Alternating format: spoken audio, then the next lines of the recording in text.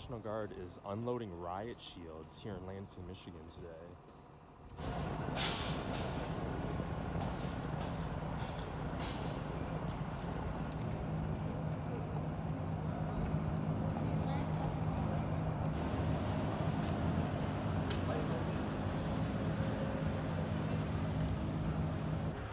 That it allows people to go